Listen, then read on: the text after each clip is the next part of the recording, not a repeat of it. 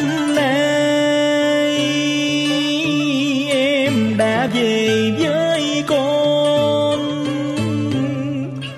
Nó rất vui mừng.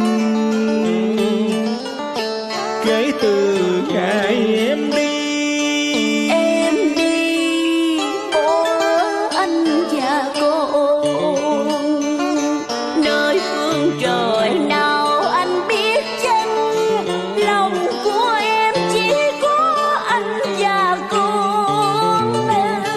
就有